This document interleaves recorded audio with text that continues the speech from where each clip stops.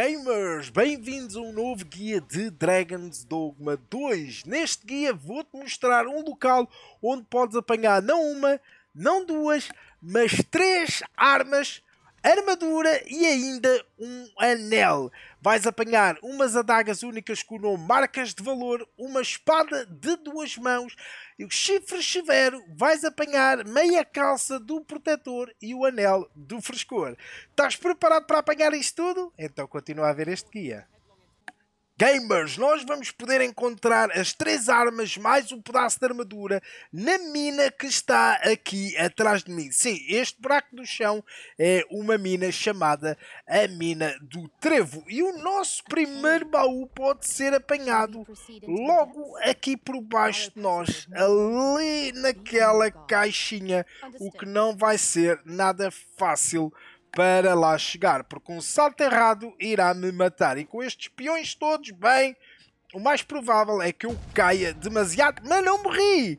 Boa, estou super contente. Agora, não escorregues para mal dos meus pecados.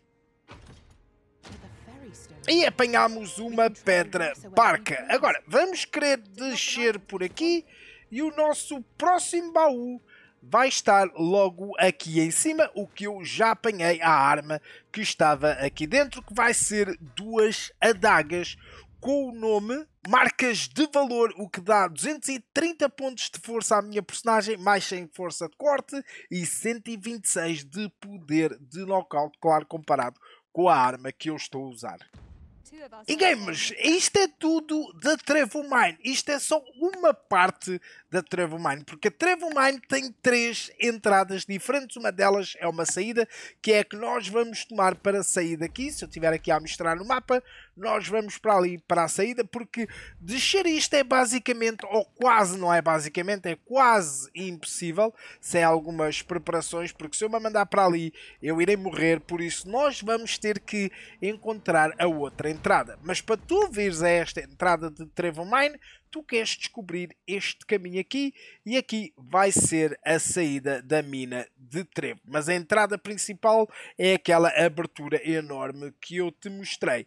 E isto não é muito, muito longe aqui da cidade de Vernworth. Como podes ver, é só seguir aqui o caminho e fazes o desvio aqui para as minas. É realmente muito perto do começo do jogo. Aliás, tu nem sequer precisas de avançar muito na história principal, só chegar até Vanworth.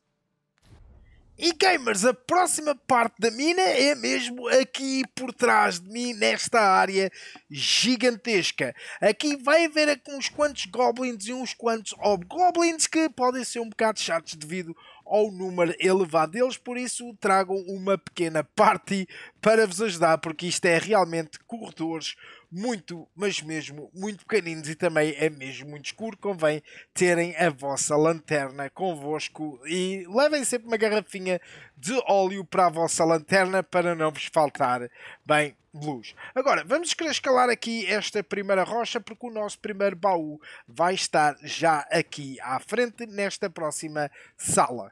E aqui está ele. Vamos então abri-lo. Aquela porta está fechada, não abre.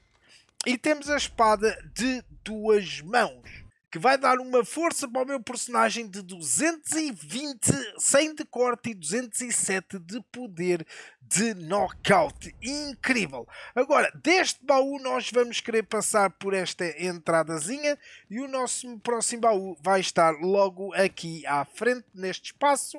E vamos lá ver a surpresa que temos nós. E vai ser a meia calça do protetor. Eu já tenho umas, estas não se. Aliás, eu já tenho umas três destas, mas vai ser ideal para o vosso arqueiro e para o vosso ladrão. É realmente muito boa em termos de resistências e defesas. Agora, deste segundo baú, nós vamos querer descer por aqui, vamos contornar esta rocha. Vamos aqui ir mesmo para a parte de baixo. Também pode ir por ali se quiserem saltar da ponte, mas não há grandes necessidades. A ponte também não é muito alta, não vos vai machucar se por acaso saltarem da ponte. Agora, aqui parece que o número 3 está mesmo ali, mas nós queremos dar aqui a volta. Estão a ver? O baú vai estar ali. Nós vamos querer dar a voltinha aqui por trás para abrir então o baú. Mais um pelinho. E agora é só virar aqui. E cá está o nosso baú, gamers. E vai ter o Anel do Frescor. Anel que concede poder ao usuário cujo espírito ressoa com a sua magia reduz o dano recebido de ataques de fogo. E gamers, deste baú vamos querer voltar tudo para trás para irmos buscar o último baú e também a última arma desta mina, que vai ser um cajado para o vosso mago. Nós queremos voltar àquela salazinha que tínhamos descido, com a ponte no meio, e vamos em frente. Nós não vamos querer subir nem para um lado nem para o outro, vamos simplesmente em frente, que ali vai existir outra passagem aqui por baixo. Podes ver que agora existe outra passagem neste lado e ali ao cantinho, mesmo ao cantinho deste corredor, vai haver então o nosso último baú com os chifres severos. Os chifres severos, como podes ver, têm uma força de 166, magia 218 e poder knockout 89. Pode parecer inferior ao meu cajado, mas o meu cajado tem dois upgrades, por isso ele já foi melhorado por mim, enquanto este ainda não foi melhorado e também não é propriamente para mago, mas sim para feiticeiro. E gamers, no mapa a mina do trevo, ou a segunda mina, vai ser aqui embaixo. Aqui foi a primeira que apanhámos, onde apanhámos aqueles primeiros dois baús. A outra vai ser aqui, que também ainda é mais perto da cidade de Vernworth, que só tens que seguir também o caminho principal e até chegares a este entroncamento e vais querer vir para baixo para chegares então até à mina.